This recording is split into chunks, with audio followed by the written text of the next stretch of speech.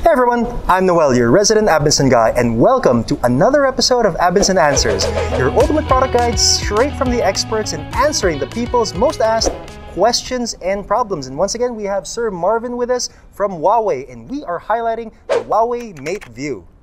Okay, Sir Marvin, why should our viewers choose the Huawei Mate View? First of all, gusto ko malaman, saan ba gawa yung body ng monitor natin? Makintab siya, tapos parang matibay naman. Anong material to? Ayan, Sir Noel, thank you sa magandang question. Bali, yung pagkagawa ng ating Mate View, ayan, Huawei Mate View, meron siyang 28.2 inches. Ganun po siya kalaki. And metal po yung ginamit natin, metal frame yung ginamit. Ultra thin bezels na po siya or almost borderless na. Yan yung meron po pagdating sa ating Huawei Mate View. So kita ko nga parang ang ganda-ganda ng uh, design niya, sobrang shiny and so on. Pero paano yung specs ng monitor mismo? Pagdating po sa monitor natin, yung pinaka-specs po natin, ano ba yung pinagmamalaki pagdating sa Huawei Mate View? Yan, sa Mate View natin, mga ma'am and sir, meron tayong 94% screen to body ratio. Yung screen to body ratio, yung pinaka-screen natin.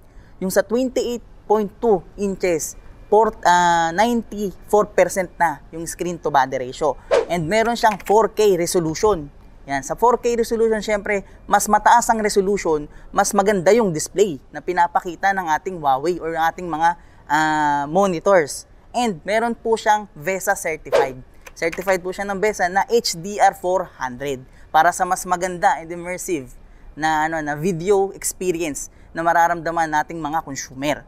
And uh, meron po siyang 1.7 billion. Yan po yung ating bit or yung 10 bit color depth. Ayan, yan po yung meron. Pagdating po sa Huawei Mate View, ito po yung uh, uh, kagandahan pagdating sa specification. Maganda na nga yung labas itong Huawei Mate View natin. Ang ganda pa ng specs mismo. Tapos nabasa ko rin Sir Marvin sa spec sheet niya na meron din siya mga special features na unique sa kanya. Wala ibang monitor. So hindi lang siya basta-basta monitor. Meron daw siyang one-hop wireless projection. Ano sir yun?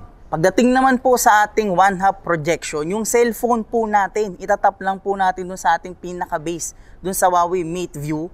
And yung mirroring po na tinatawag, yung cellphone natin, lalabas po yung pinaka-screen dun sa ating Huawei Mate View. At ang maganda po dito, pwede nating pagpilian, pwede tayong mag-mirror and pwede rin po tayong mag-desktop mode. Pag desktop mode, lalabas po yung interface ng pang-desktop or pang-computer or pang-laptop pero yung kanyang ginagamit na tower or kanyang ginagamit na mobile computer is yung mobile cellphone natin. Okay, Sir Marvin, thank you very much sa pag-share ng mga information natin tungkol sa Huawei Mate View. Parang ganda-ganda nga talaga ng monitor nyo, eh, no, sir? So, now, it's time to ask the people's most asked questions from Google. Handa na ba kayo? Yes. Sir Marvin, okay. Handa na. So yung first most asked question natin is, kamusta naman yung compatibility ng monitor natin, Sir Marvin? Kung i-connect ko yung monitor ko, ay yung, yung, yung desktop ko or yung laptop ko diretso sa monitor na to, gagana lang ba siya or may iba pang kailangan? Ayan. Yan yung maganda po sir sa ating ano, Huawei Mate View. Sa Mate View natin, kahit anong brand po ng tower, pwede nating saksak. Nung basta po naka HDMI connector tayo. Okay. Ayan. Isa yan pagdating sa ano sa compatibility. Kahit ano po yan, pwede po yan basta naka HDMI. Okay, so very convenient yun. And next question natin, most asked question from Google is, suitable ba daw to for professional photography or video editing? Kasi based nga sa specs, mukha nga. So, tama ba to, Sir Marvin? Yan, isa sa pinakamagandang question yan, Sir Noel. Bali yung ating ano, Huawei Mate View. Ayan, dahil naka 94% yung screen to body ratio, malaking screen na po yan. Naka 3 by 2 sir yung aspect ratio. Yung ibig sabihin yung content na pwede nilang gawin sa editing. Yeah. Plus Ah. naka 4K resolution, sir. Oo. Naka 4K resolution tayo, kaya mas maganda yung pag-edit nila, mas Maraming detalyado. detail, ano? Yes po. Mm.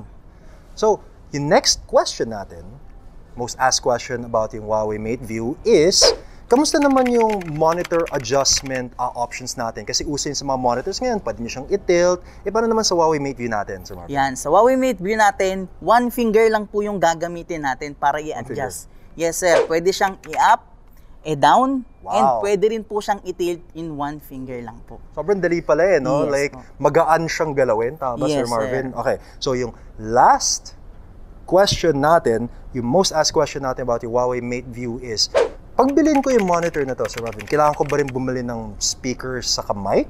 Yan, isa sa pinakamagandang tanong yan, sir. Kasi yung mga typical or yung mga normal monitors, talaga, no? wala talaga, Wala, sir, di oo. ba? Normal Pero yun. yung sa atin, meron. Ah, meron? Yes, sir. Meron siyang speaker.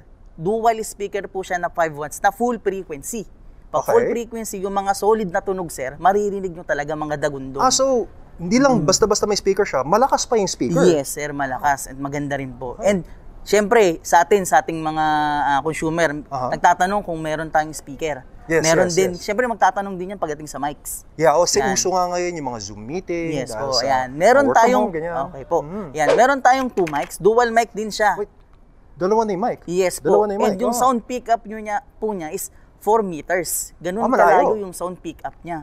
Yan Okay. po yung kagandahan pagdating sa ating Huawei Mate View. Mhm. Meron siyang speaker and meron din siyang mic. Wow!